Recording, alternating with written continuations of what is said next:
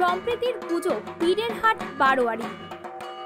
একপাশে পীরের মাজার, তার পাশেই গড়া শান্তিপুর সূত্রাগড় পীরের হাট অঞ্চলের জগৎধাত্রী মণ্ডপ। প্রায় তিনশো বছর ধরে এই অঞ্চলের জগৎধাত্রী পুজোর প্রচলন হয়। এই পীরের হাট অঞ্চলে হিন্দু ও মুসলিম একসঙ্গে বসবাস করে। এই দুই সম্প্রদায়ের মেলবন্ধনের জন্যে এই পুজো জড়িয়ে রয়েছে। প্রথম তার বাড়িতে দেবীর পুজো করেন। দেবীর পুজোর মাহাত্ম্য ছড়াবার জন্যে তিনি পরবর্তীকালে তার লেঠেলদের সহযোগিতায় মহারাজ তার হাতিশালায় জগৎধাত্রী পুজো করেন। পীরেরহাট অঞ্চলটি আগে রাজার হাতিশালী ছিল। অঞ্চলের লোকেরা মনে করেন, এখনও একটি হাতির কবর এই অঞ্চলে দেয়া রয়েছে। এরপর থেকে এই একভাবে শান্তিপুর তথা গোটা জগতে দেবীর পুজোর প্রচলন হয়। যেহেতু মহারাজ স্বয়ং এই পুজো করেছিলেন, সেহেতু এই রীতি বজায় রেখেই আজও মহারাজ কৃষ্ণচন্দ্র রায়ের নামেই এই পুজোর সংকল্প হয়।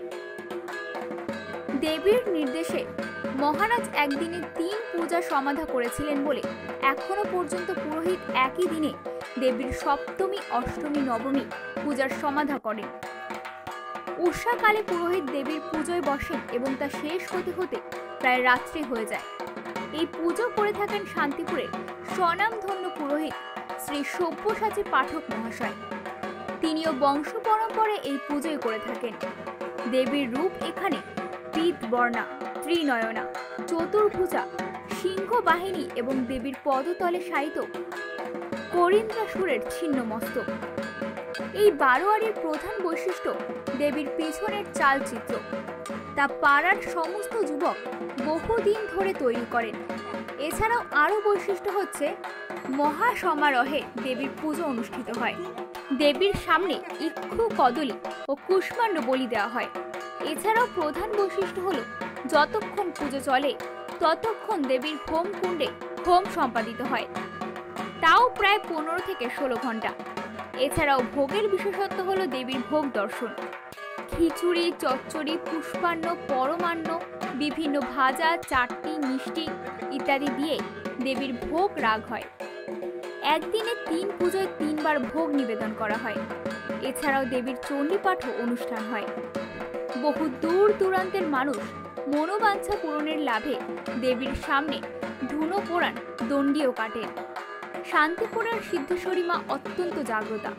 তিনি শান্তিপুরের অভিভাবক। তাই এই বারোয়ারি থেকে একটি বড় নৈবেদ্য জলপান নিয়ে যাওয়া হয় বাদ্য বাজনা সহযোগে। এই বারোয়ারির মা বয়সে ও মূর্তিতে বড় বলে অনেকে দেবীকে বড় মা বলেও সম্বোধন করেন।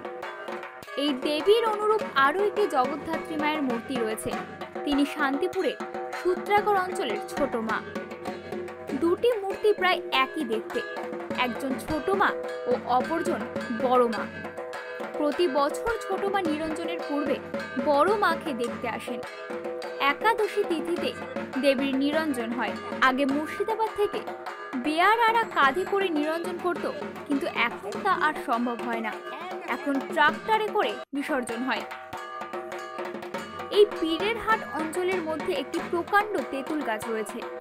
রীতি অনুযায়ী নিরঞ্জনের পূর্বে দেবীকে মন্দির থেকে বের করে ওই তেঁতুল তলায় বিশ্রাম দেওয়া হয়। পরে বাদ্য বাজনা আলোর রোশনায় সহযোগে দেবীর নিরঞ্জন সম্পূর্ণ হয়।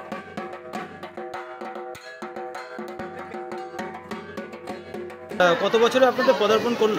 দেখুন মহারাজ কৃষ্ণচন্দ্রের নামে আমাদের এখানে পুজো হয়। তা মহারাজ কৃষ্ণচন্দ্রের নামে পুজো হতে গেলে দুশো সত্তর থেকে পঁচাত্তর বছর ওনার হিসেবে আসছে। আর এমনি মানুষের কথাই তিন চারশো বছরের পুজো। যেহেতু মহারাজ কৃষ্ণচন্দ্রের নামে হয় সেহেতু আমরা মনে করি দুশো পঁচাত্তর মতো বয়স হচ্ছে এবছর। আর পুজোর যে কার কার হাত ধরে এখানে স্থাপিত হয়েছিল এটা মহারাজ কৃষ্ণচন্দ্র যেহেতু এখানে পীরতলা আছে সেই পীরের সামনে হাট বসত। সেই হিসেবে এটা পীরের হাট। এবার সেই পীরের হাটে যখন হাট ছিল তখন মহারাজ যেখানে কৃষ্ণ কৃষ্ণনগরের মহারাজ কৃষ্ণচন্দ্র এই প্রতিষ্ঠাতা করেছিলেন। এবং সেই থেকেই এই জগতে পুজো হয় এবং এখনও ওনার নামেই পুজোটা হয়। আচ্ছা। আচ্ছা প্রত্যেক বছর তো জেলার বিভিন্ন প্রান্ত থেকে অনেক সাধারণ মানুষ আসে মাকে দর্শন করার জন্য। কিন্তু যেহেতু করোনা আবহ চলছে, প্রশাসনের একাধিক বিধিনিষেধ, কীভাবে পরিচালনা করছেন পুজো? আমরা প্রত্যেককে বলছি এবং লিখে দিচ্ছি যে মাস্ক পরে আসুন, পলিথিনটা বর্জন করুন এবং যতটা ভিড় হালকা করা যায়, যার জন্য আমরা খোলা এই প্যান্ডেল মণ্ডপ করেছি, যেখানে মানুষের গ্যাদারিংটা যাতে না হয়। আর পুজোর যে ভোগ দোগগুলো আগে ছিল আমাদের সেগুলো আমরা বন্ধ রেখেছি। শুধুমাত্র মায়ের পুজোটা হচ্ছে এবং দর্শনার্থী আসছে মাকে পুজো দিচ্ছে নমস্কার করতে চলে যাচ্ছে। আচ্ছা, এরপরে তো প্রতিমা নিরঞ্জনের সময় চলে আসবে গতকালকের পর থেকেই। তা প্রশাসনের নির্দেশ অনুযায়ী কি কি মানছেন আপনারা? প্রশাসনের নির্দেশ অনুযায়ী আমরা সবটাই মানছি। প্রশাসন আমাদের বৈদ্যুতিক যে আলো বা শোভাযাত্রায় যে আলো আমাদের করতে মানা করেছে আমরা করছি না। শুধুমাত্র ঠাকুর যাবে প্রতিমা যাবে সেই গাড়িটাই থাকছে আলাদা কোনো ট্যাবলো বা গাড়ি থাকছে না। এবং একটা মাত্র বাদ্যযন্ত্র নিয়ে আমরা যেভাবে প্রশাসন আমাদের রুট করে দিয়েছে আমরা সেভাবেই প্রশাসনের সমস্ত কিছু মেনে ঠাকুর বিসর্জন দেবো। আপনার নাম এবং আমার নাম উত্তম দাস পিরিয়াটপাড়া বারোয়ারির সভাপতি। নদিয়া থেকে মলয়দের রিপোর্ট টাইমস বাংলা।